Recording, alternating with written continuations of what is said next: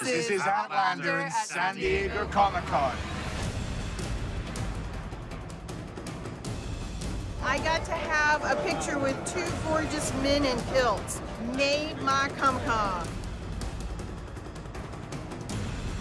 I just don't think of it as a man's show or a woman's show. It's just a ripping good yarn. Sassenach.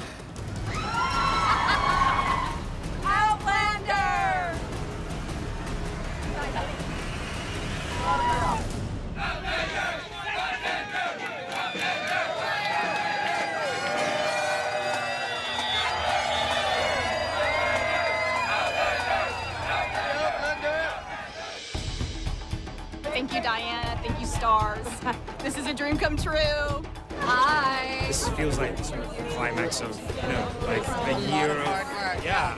I think that we will give them a world that they dreamed of, but we'll actually put it into life.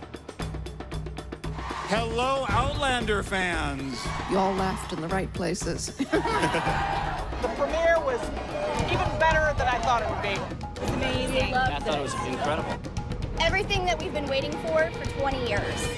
There were a lot of questions that we were having whether it was going to be true to the book, and I think it really was.